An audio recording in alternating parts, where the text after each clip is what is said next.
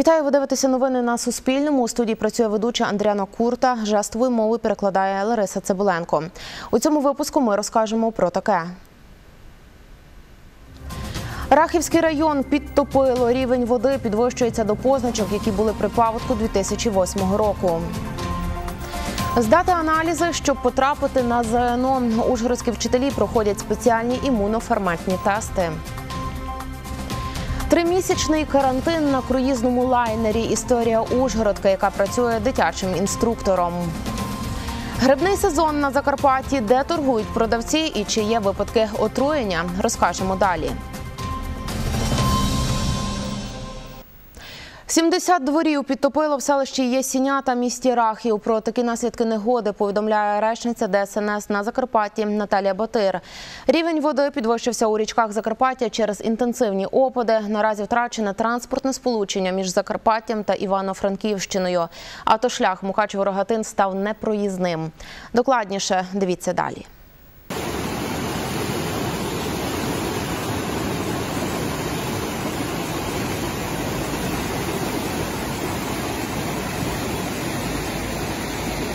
Кадрах селище Ясіня. Там річка Чорна Тиса вийшла з берегів. Вода підтопила двори місцевих жителів.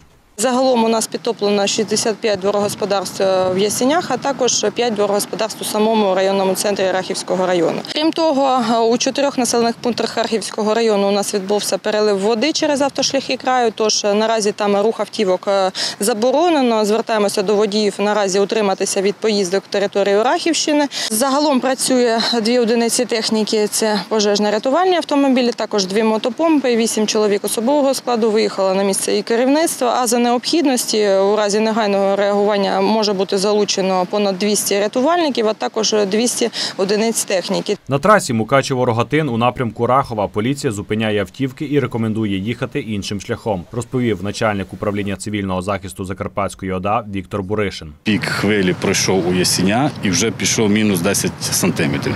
Це говорить про те, що максимум там вже пройшов. Вона рухається вниз і чекаємо такий самий максимум у Рахові. Є питання по закриттю центрального моста у Рахові. Поки що рух е, контролюється, ситуація знаходиться під постійним контролем, оскільки там лишається буквально 30-40 сантиметрів до критичної відмітки, коли треба місто однозначно перекривати. На сьогодні там е, стоїть е, обмежено рух вантажного транспорту, поки що пускають пішоходів, що пускають легковий. Дощі йтимуть на Рахівщині і вночі 24 червня, розповіла синоптикиня Василина Блох. Дощі будуть від помірних до значних і опади будуть іще збільшуватися. Тому там такої спокійної ситуації поки що найближчим часом не очікується. Надалі на завтра на день опади на сході будуть не то, що припинятися, а просто інтенсивність їх буде зменшуватися, але по області, особливо в гірських районах, будуть такі точечні зливові дощі, які, скажімо так, там за годину, за дві години і так далі. Підвищення рівня води в межах селища Ясіня наближається до рівня паводку 2008 року, каже Віктор Буришин. За його словами, служби цивільного захисту готові до ліквідації наслідків негоди. Андрій Андрусяк, Олександр Курта, Остап Попович, Іван Шимко. Новини на Суспільному. 103 нових випадків COVID-19 підтвердили за останню добу на Закарпатті. Четверо людей померли. Про це нині повідомила директорка департаменту охорони здоров'я ОДА Єлизавета Біров. За час пандемії в нашій області зареєстрували 2291 випадок інфікування. 61 людина померла, 845 одужали. В Україні ж за останню добу інфікувалися понад 800 людей. Такі дані оприлюднив міністр охорони здоров'я Максим Степанов. На цій карті інформація, скільки хворих на COVID-19 у регіонах. Понад третина нових випадків на Львівщині, далі Закарпаття і Рівненщина. Тим часом жодного нового випадку зараження у Запорізькій, Миколаївській, Херсонській і Хмельницькій областях. Загалом від початку пандемії маємо понад 38 тисяч випадків захворювання. Кожен другий одужав, 1030 35 людей померли. 240 учителів ужгородських шкіл здали ІФА, тобто імуноформатні аналізи. Вони потрібні для виявлення антитіл COVID-19, які з'являються, коли людина хворіє або вже мала коронавірусну інфекцію, каже начальник управління охорони здоров'я міськради Василь Решетар. Використовувати такі ІФА-тести дозволили в Мінохорони здоров'я. Перевіряють педагогів, які працюватимуть під час проведення зовнішнього незалежного оцінювання. Перше ЗНО, нагадую, відбудеться вже за два дні, 25 червня, з математики. Більше розкаже Діана Фуско.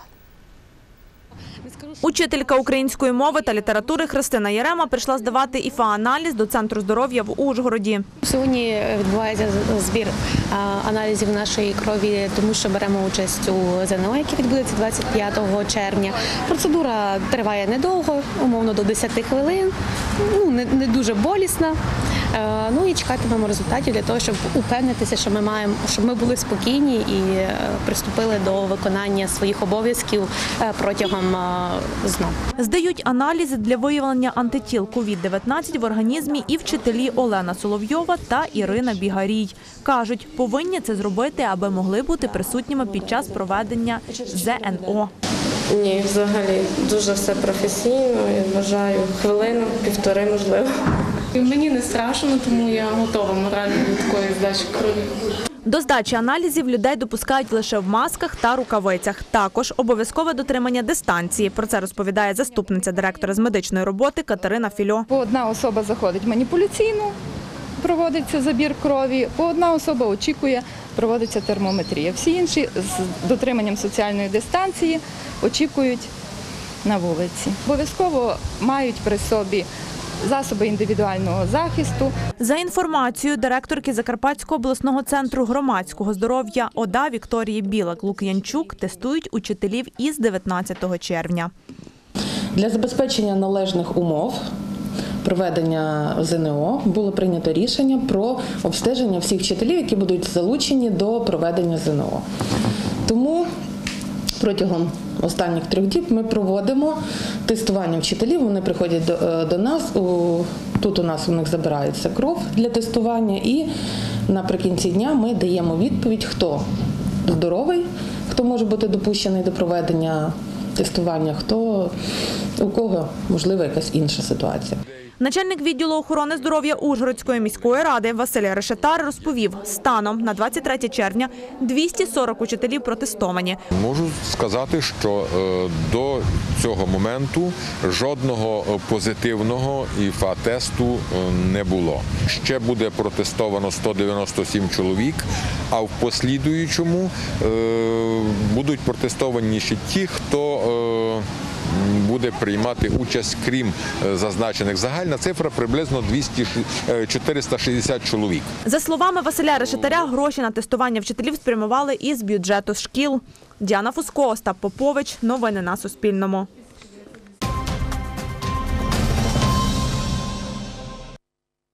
Три місяці на круїзному лайнері під час пандемії COVID-19. Ужгородка Ема Оганесян разом з іншими членами екіпажу не могла повернутися до України через закриття кордонів.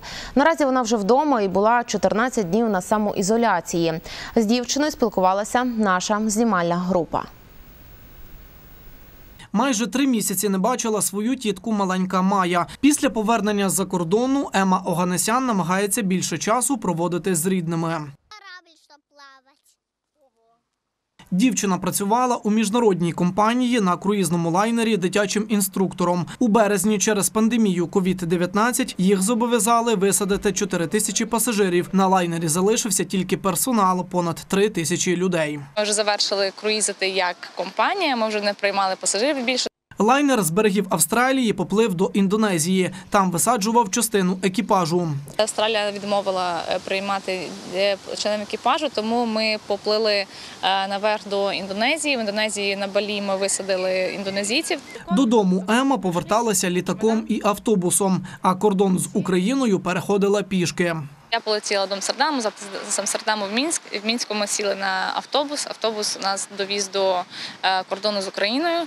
У кордон ми вже приходили пішки навіть за всіма валізами. Було трошки важко. Це такий трошки травматичний навіть досвід. Про період тримісячної ізоляції Емма каже: я дуже рада, що я попала саме, що я була на е, круїзному лайнері в період пандемії. Нам все одно треба було потрібно було носити маски, ми все одно трималися дистанції, так само як і весь е, вся решта світу. Ми так само виконували всі ці правила. Олександр Курта, Іван Шимко. Новини на Суспільному.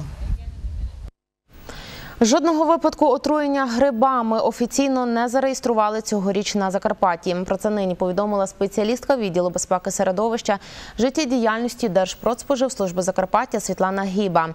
Наразі в області понад тиждень триває грибний сезон.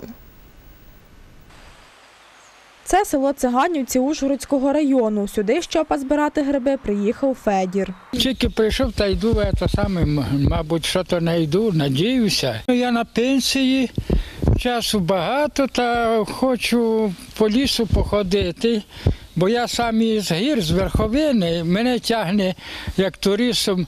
І я любитель е, гриби збирати. Ну вже возраст, вже ноги мало, та вже далеко не йду, а ближе. Я ходив у в Оріховці, а то рядом тут, а в цьому районі.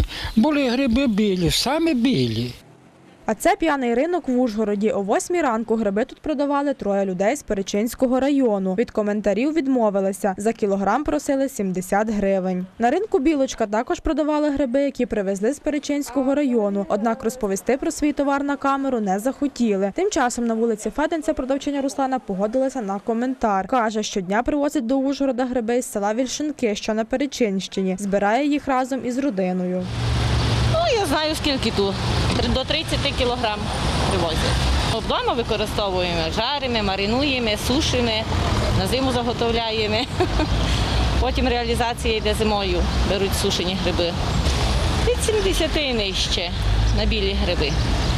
Поруч продає Михайло Решетар. Це Лубіночки, я їх збирав в селі Оріховиця, в лісі, у грабині. І збираю по, по 50 кілограм. У день? Да. Ті по 25. А гриби білі, наприклад? Білі по 50. Гриби необхідно збирати в чистому середовищі, тобто в лісі, кажуть у Держпродспоживслужбі Закарпаття. Треба збирати тільки гриби добре відомі, які вже сформовані, мають достатньо сформовану шапочку, ніжку, щоб не сплутати їх з іншими. Не можна їх збирати біля шосейних доріг, біля залізниць, десь біля сміттєзвалищ. Труєння грибами вони, як правило, наростають у час. Не різкий початок, а такий поступовий і до якої фази дойде оце отруєння, дуже важко визначити зразу. Пок- покласти в ліжко, дати теплої води чи теплого чаю, наприклад, ромашкового. Наскільки можливо промити і обов'язково викликати лікаря. За словами Світлани Гібе, на Закарпатті у 2018 році грибами отруїлися шестеро людей, у 2019-му – двоє. Цьогоріч поки жодного випадку. При цьому в області за останні п'ять років офіційно не зафіксували жодної смерті від такого отруєння. Руслана Гостюк, Андрій Гісем. Новини на Суспільному. Цим завершуємо. Дякуємо, що були з нами. На все добре.